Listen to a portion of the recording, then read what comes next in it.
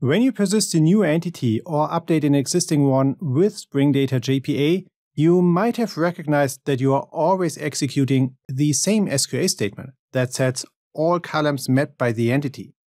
That's even the case if you only update one of its attributes. That is a performance optimization provided by Hibernate, the JPA implementation that Spring Data JPA uses by default. Hibernate tries to avoid checking which attributes of an entity have changed and generating a specific SQL statement for them. It instead generates one SQL update and one SQL insert statement for each entity class at startup and reuses it for every insert or update operation. Reusing the same statement over and over again improves Hibernate's performance, but it also creates some side effects. These statements create an overhead if you only change one attribute of a huge entity class. They also cause problems if you need to audit all changes performed on a database table. In these cases, it might be better to let Hibernate generate a new SQL insert or update statement for each operation.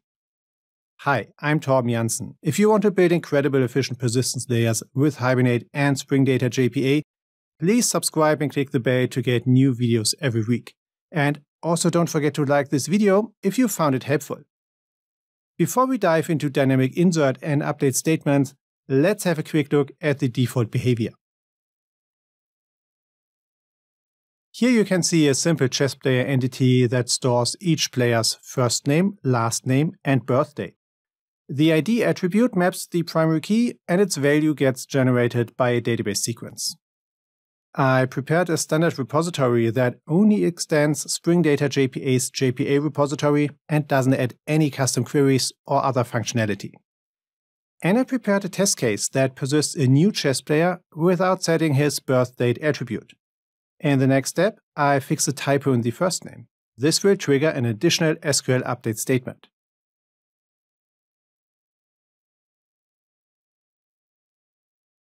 As you can see in the log output, Hibernate executed an SQL insert and an update statement that set all columns of the chess player table. This includes the birth date column, which gets set to null. Let's now look at dynamic insert statements. Spring Data JPA acts as a layer on top of Hibernate. Due to that, you can use all of Hibernate's proprietary mapping annotations on your entity classes. If you want to dynamically generate the SQL insert statement when persisting a new entity object, you need to annotate the entity class with Hibernate's proprietary dynamic insert annotation. When you then execute the same test case as before, you will see in the log output that Hibernate generated the SQL insert statement dynamically using only the attributes set on the new entity object. Hibernate only sets the ID, first name, and last name columns in the SQL insert statement, but not the birth date column. Hibernate excluded that column because I didn't set it in the test case before calling the save method on Spring Data JPA's repository. But the SQL update statement still updates all columns mapped by the ChessPlayer entity class. If you want to change that, you also need to annotate the entity class with dynamic update. Like the dynamic insert annotation described in the previous section, the dynamic update annotation tells Hibernate to generate a specific SQL update statement for each update operation. When doing that, Hibernate detects which attributes have changed and only includes these in the SQL statements. In the following example, I annotated the chess player entity with Hibernate's dynamic insert and dynamic update annotation. Let's execute the same test case as in the previous example.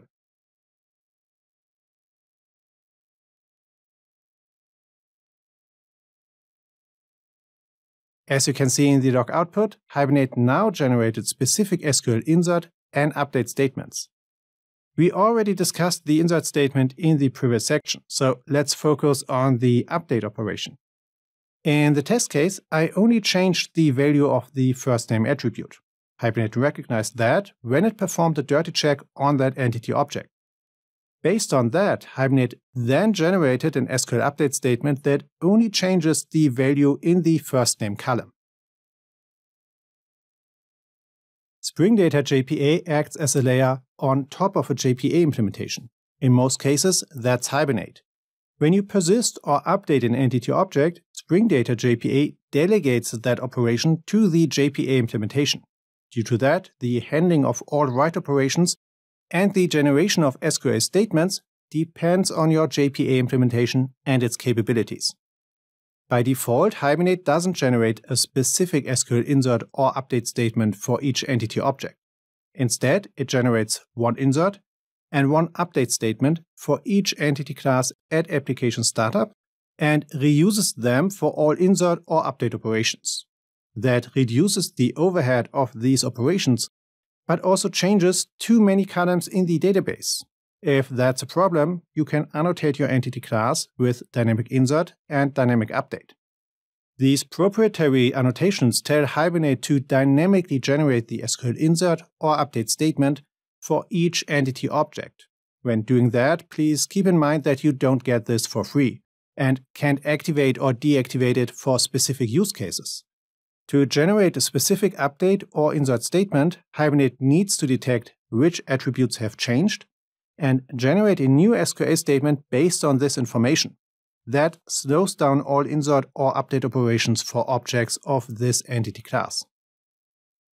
Okay, that's it for today. If you want to learn more about Hibernate and Spring Data JPA, you should join the Persistence Hub.